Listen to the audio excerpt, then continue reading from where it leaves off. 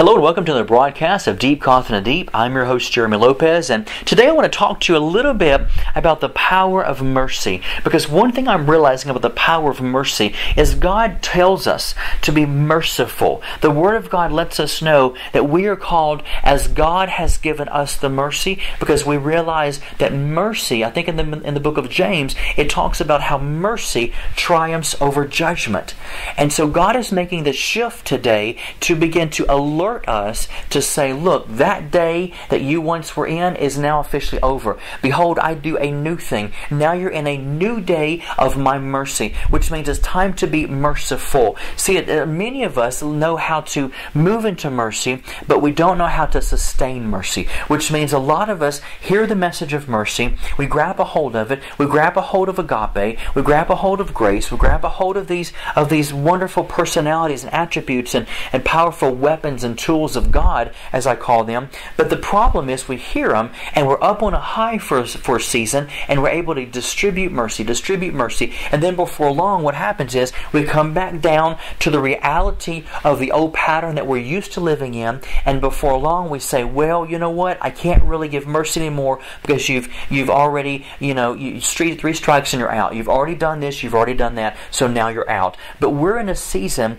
to realize God is not calling us to get the hype and the goosebump anymore of understanding who he is, who his personality is, and what he has, and what he always has been, and what he always will be. God doesn't have mercy, he is mercy. God doesn't have love, he is love. And knowing that process, every single morning, his mercies are new every morning, which means God doesn't wake up one day and say, That was an old pattern, that was yesterday, I'm tired of it, they've done me dirty, they've hurt me, my people have done me wrong, you've cussed your last time, no more mercy today. He doesn't look at you and say, you know what, you've committed adultery your last time. I've had enough. I don't care how much you call upon me. No more mercy for you today. No more daily bread will I give you today. See, God does not do that because God does not have mercy. God is mercy. And therefore, knowing that His mercies are new every morning, God sets Himself, check this out, God sets Himself on autopilot that the authentic, true self of who He is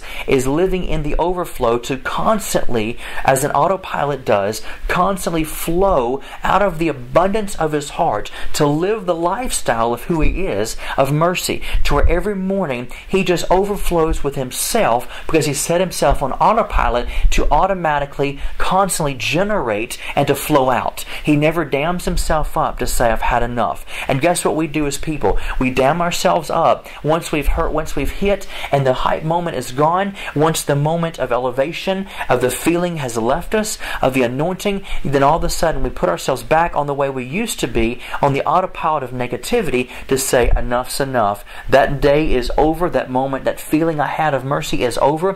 Why? Because you just possessed it. You didn't become it. But God is calling us and requiring us now to become merciful, to become gracious, to become loving, to become love, to become these things that He is. And knowing that we are called to be as Him, He says, As I am, am, so are you. He didn't say, of what I have, you shall have that. He says, he's, and he, I love this statement because in this prayer to his Father, he says, as I am, so are you.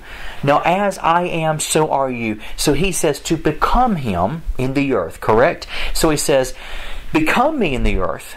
But then later on, you hear another scripture that says what?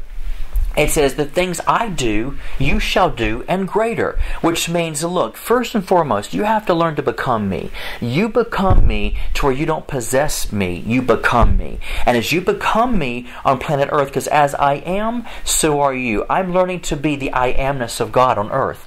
I am learning and I'm moving and I'm shifting to be the I amness of God on earth. I'm not tapping into, every once in a while when I feel down, tapping into the I amness of God. I have have become the I amness of God on earth because he says, As I am, so are you. He didn't say, As I am, you shall begin to grab a hold of it, tap into it. Every once in a while, when you need it, get a hold of it. He says, As I am, so are you. So I'm tapping into the I amness of who God is within my own life to become the I am. And when I begin to move into the, the quality and the character of becoming God to somebody, it helps fulfill the scripture that says, Show show us the Father, and that will suffice us. Becoming the Father is the only thing that satisfies the world, that satisfies creation. When you when you begin to tap into the mercy of God, for example, and you begin to be merciful to people and at a seasonal thing, on a seasonal time clock, then you begin to cease to be God to somebody. Because what happens is you can't come and go from being who you're called to be, which is being the Christ to somebody. You can't come and go as you please. You must sustain yourself, maintain yourself by becoming, and once you become something, you no longer possess it. You become that thing. God is requiring us today to become mercy. Why? Because there's so much judgment right now. There's so much judgment, even from those in the body of Christ. There's judgment against these people. There's judgment against that group. There's judgment against this. I remember going through a season, which many of you remember remember. And some of you, unfortunately, are still there. But many of us went through a season where we had no mercy. I remember growing up years and years ago, and um, in, in a big, large organization in Florida who was very prophetic, and we would sing songs like "We Have No Mercy," and it was "We have no mercy on the spirits of darkness." And I understood the concept back then. We have no mercy on the things of the enemy. But what we need to do is not focus on the negative and not focus on on being hateful, even if it's towards the devil, what we need to focus on is being like Jesus and singing the songs of what I need to, to become. And therefore, when I when I do that, then I'm fulfilling the scripture that says, think upon these things. It doesn't tell me to think upon things about how to war with the enemy. It doesn't tell me how to think about this, how to continuously be in a warfare mode to fight the devil. It doesn't t- tell me that. It says, think upon things that are pure, holy, good report. These are the things you think think about. That's why the Bible even says what? Whose report are you going to believe? I believe the report of the Lord. Now, knowing that, I realize that mercy, if mercy triumphs over judgment, then the goal with the body of Christ is to become that judgment. Um, excuse me, become that mercy. To where that way, when judgment comes our way, it will fall like water off a duck's back because the mercy of the Lord has gone before you because it's oozing out of who you are. Your essence becomes the mercy. Your essence becomes the presence of love. And when you begin to become the Father, become exactly who He is and what He is, then you begin to see that it begins to suffice the people. It begins to satisfy the people.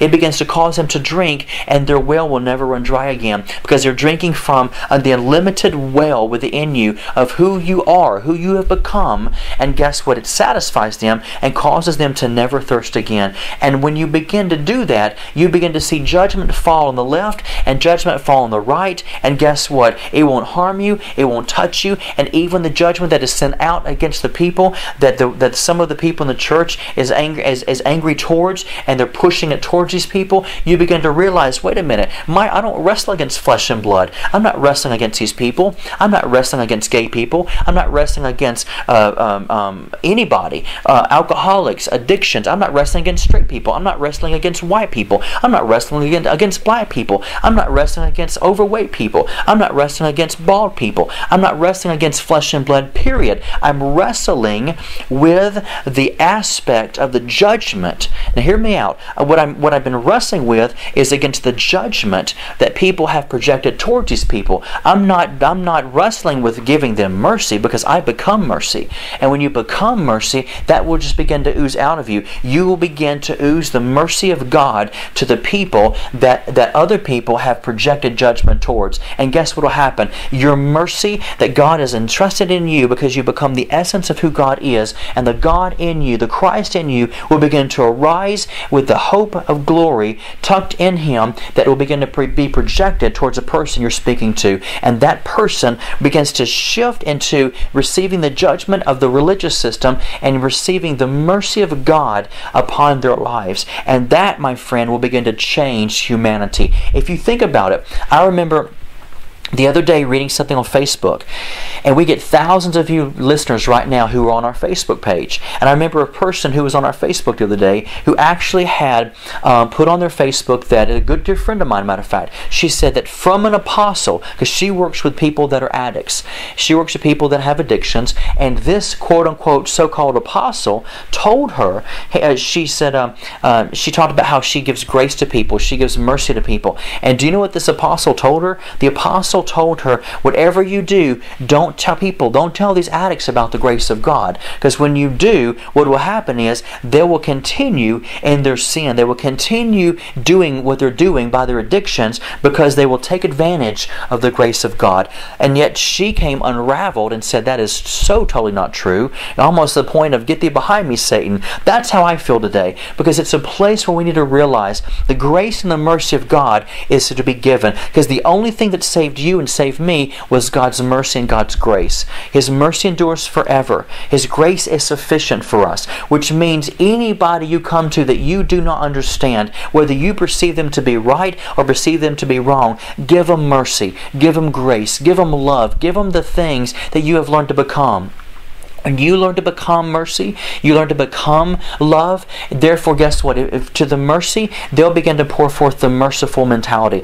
To those who are love, they'll begin to pour forth a loving anointing, a loving mentality. And guess what? You will never have to wrestle with, well, does this person deserve it? Does this person not deserve it? Well, how far is too far? Have you gone over your 70 times 7 point, uh, you know, point that God talked about? Well, you know, uh, you know, well, this is too far. This is too out there for me. No, you, you, you don't move move in the measurements of man. You don't move in those dimensions. Those dimensions are outside of the kingdom of God. The kingdom of God speaks of unlimitedness, unlimitedness, unlimitedness, no borders, no boundaries, no limits of God's grace, God's mercy, God's peace, God's compassion. You are called to move in these things, become these things, to where people begin to understand the concept that I'm sorry, you can rile me up, you can get me angry to start a march for Jesus in the streets to come against these people people, but it's not going to work for me. It's once again, it's going to be like water off a duck's back for me because I cannot come against the thing that I have become. And the thing that I've become is mercy. The thing that I've become is love. Because when you grow up into maturity, you grow up into Christ. And in Christ, there's either male nor female. In Christ, there is neither bond nor free. In Christ, there is neither this nor that. And knowing that, and by the way, for those of you who maybe feel sometimes this message might ruffle your feathers because maybe you might feel a little bit traditional, a little bit religious. If you continue to read that scripture of what is in Christ, you will read that it talks about two groups of people who are actually very barbaric and who are who are who are considered to be very mean and loyal, rough people back then. And yet the Bible says they're in Christ. So my question to you is this: Who do we think we are to declare and decree who is in Christ or not? Who do we think we are to decree and declare or to judge, you know, this person or that person when God's mercy triumphs over judgment, the book of James talks about. If mercy triumphs over judgment, then it's time for you to use the greatest weapon of warfare you have ever been handed in your life. The greatest weapon you hold in your hand right now is that of mercy. And I'm telling you today, with, with the sound of my voice, listen to me. Each and every one of you, we have thousands upon thousands of listeners that that that that, uh, respond to this deep cough deep um, broadcast, and they respond by saying, Thank you, because I did not know how to be merciful. I did not know how to be loving. And all you speak about is the good news, the good news, the good news. I said, You're right. What else is there to talk about besides the good news? The good news says, Behold, i am doing a new thing. What is that new thing, God? The new thing that God has given us is what? Weapons, the strongest weapons known to man, which is the weapons of mercy, the weapons of love, the weapons of grace. These are weapons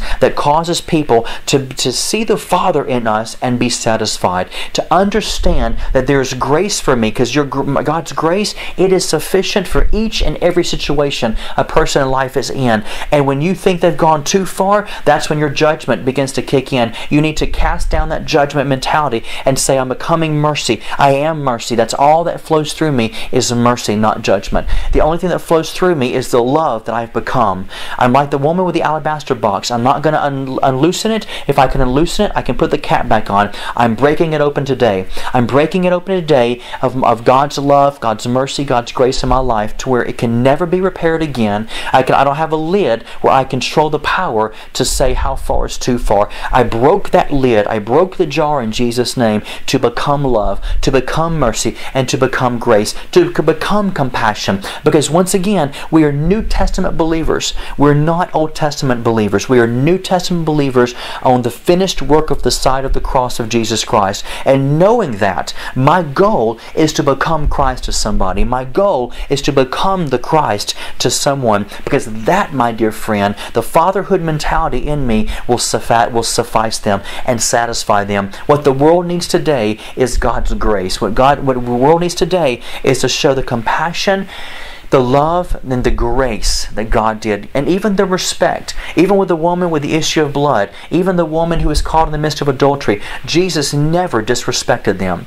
He never disrespected them, but he honored them as human beings, and he showed his grace, mercy, and compassion. Did he tell the woman that was caught in adultery, go and sin no more? Absolutely. But before he did, he let her know, I don't judge you, I don't condemn you, I don't I don't accuse you. And he showed her great respect and great honor. And then after that, then he said, and by the way, I want to give you a new life here. In other words, I can take your life higher, which is which is this. If you don't do this anymore, go and sin no more. If you don't do this anymore, your life would be so much happier and so much grander. The, the power of who I am would flow through you if you just did not continue to do this anymore.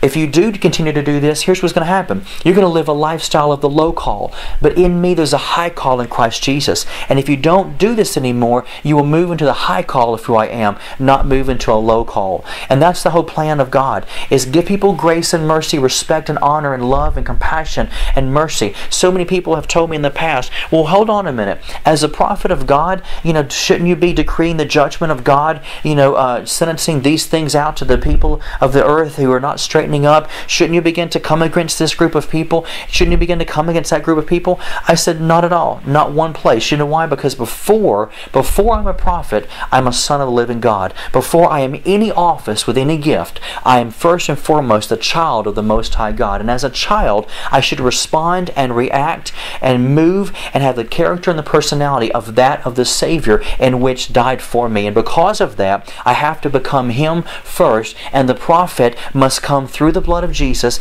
and come through the will of God and come through the cross to be the image of Christ. When everything I prophesy and everything I speak, it'll have to flow through the character of the things, listen to me now, through the character of the things that Jesus himself would speak. The old saying, what would Jesus do? It's more like this. As a prophet, prophets of God right now that are hearing me out there who are prophesying, you better listen to me right now. And that is this. You've got to learn to prophesy through the words that Jesus spoke spoke, which means what would Jesus say? What whatever Jesus would say to someone that's in the act of adultery, that's how you prophesy the will of God towards a person's life. However he wants to formulate those words in that in that creative ability that he he so wonderfully does through your mouth, do it. But it's got to flow in the flavor and the character and the flow of how he flowed while he was here on planet Earth. Because that's the will of God for us, is to become the Christ to someone else. So today, let your mercy triumph over the the judgment of the earth. Let your mercy, let your greatest weapon that you, you possess in your hand and in your spirit and the thing you've become, let that begin to go before you when you begin to see those that are judging people and those who have received judgment and those who do this and those who do that and take out the measurements of how far is too far mentality. Take out the measurements of well they did me dirty they did me wrong they, they need to they deserve what was coming to them take out all those measurements what i call measurements and, and eliminate those and move into the unlimited realm of god's mercy is new every morning. God's grace is sufficient. His mercy triumphs over judgment. And therefore guess what? Then you learn and, and you've known how to become the Christ in the earth today. That's what's going to change the world and turn it upside down for the King of Glory. Amen. By the way, thank you so much for tuning into this broadcast today. And do me a favor, please go to our website, identitynetwork.net, and order my book, my brand new book. I'm telling you, it will change, radically change your life. It will transform you. It'll strip away all the traditions of men. Trust me, I knock over what I call sacred cows. Whatever's sacred to you, as far as traditions that make the Word of God of none effect, if you can't find a breakthrough, I always tell people this if you're looking for a breakthrough and you're not getting a breakthrough, that means the traditions of the enemy or the traditions you have built within yourself are stopping you because they're making the Word, whether it's a prophetic word or the Word of God, the written Word of God, it's making it of none effect. So you're moving into a place of voidness. And knowing that you're moving into a place or you are in a place of voidness right now, cow says to me that there are traditions and there are certain doctrines within that sacred cow that must be destroyed, that's why you can't have a breakthrough. Are you with me? The reason why most people do not get the breakthrough they're looking for and they find themselves going from prayer line to prayer line or going round and around is only because, simply because, you have traditions in you that are causing that, that progression to take you further. It's making it void and it's canceling out every time. You know, have you ever had something that just keeps, on canceling itself out? That's what it's doing. It's canceling out your progression. It's canceling out the dawning of a new day. It's canceling out for you everything in your life that you're trying to progress and move into, and to the furtherness, to further your life into the being what God wants you to be. So you need to get rid of your sacred cows today. I promise you. This book, which is called Abandoned to Divine Destiny, will change your life forever. Guaranteed. It's the thickest book I've ever written. It's like, I think, 268 pages. Please go to my website, identitynetwork.net. Get a hold of my book or my ebook. If you want me to autograph this book and you heard this from the broadcast, when you call in or you Go to the website to order the book. Just shoot an email to our customer service and just say, just order the book. Want, want Brother Jeremy to autograph it, and I'll be glad to autograph it for you. No problem at all. Also, I'm going to challenge all of our listeners. We have thousands of you out there that are listening to us through all over different aspects and different avenues, from the website to satellite to different ways. And I want to share this with you as well. Please, I want you today, I want to challenge everybody right now that's listening to the sound of my voice. Please go to our website website and partner with me today. Partner with me today. Our partnership program we just started four months ago, and it's partner with Jeremy Lopez. And if you partner with me, it is just ten dollars a month, and you can give more if you want to. There's a 10, 20, or 50. That's up to you. But if for just ten dollars a month, if you partner with me personally, because the Bible says to believe God's prophet, so shall you prosper. But that's not me. That's the prophet of God moving through me. That is His name is Jesus Christ, and I want you to partner with me today for ten dollars a month and I guarantee you, we have hundreds of partners who are satisfied because every each and every month I bring forth a brand new revelatory teaching just for our partners for that month. Way before we release it to the public, it goes to them personally. And I'm here to tell you right now, we, we deliver them the first of every month, and so every month you're going to be guaranteed to get, get to get what I call so many of our partners. Well, I laugh at them, but so many of our partners call them college courses. They say every month I feel like I'm getting college again because I'm getting so much download from this one teaching. I know I, I tell people all the time, I want to make sure that you're getting what you're paying for. I want to make sure you're getting revelatory things that will challenge you, not some hype, not some CD of teaching of me maybe just getting emotional on it. No, you need to be taught because you know what? You're a child of the Most High God. You're a, you're a mature son and daughter of the kingdom of God, and you deserve the very best that we can give you. And that's what my that's what my challenge challenges every month is to give to my partners the very best teaching that can possibly I can give them for that month. It'll be a fresh revelatory word just for you during that month. And so I want you to please go to our website, identitynetwork.net. On the right hand side of the column, you will see a box that says Partner with Jeremy Lopez. Just click on the box, it takes you not even one minute, and just go through the system, and there you go. And that way, I, what I'll do is I'll send you a teaching today, today for this month instead of starting you off next month. And then the next month, you'll also get a teaching as well for that month that I will do for you that week. So I want you to begin to partner with me, please. I want to challenge each and every one of you. Do that for me today. Get my book and partner with us today. If you want to go to the website on identitynetwork.net, sounds good. Shoot us an email so I can send you an autographed book and I can also send you an extra teaching for that month as you sign up as, to be a partner. And also, if you want to do that, you can call my office right now if you want to do both as well. Our office number here is 205 362 7133. That's 205 362 7133. So give us a call now, order the book, and I'll autograph it for you. And also partner with me this month and every month for just $10 so I can get a teaching, a fresh teaching in your hand every single month, sent to your email, and you can download it and you can upload it and you can keep it forever. All right? God bless each and every one of you, and I look forward to hearing from you soon and talking to you on the next broadcast.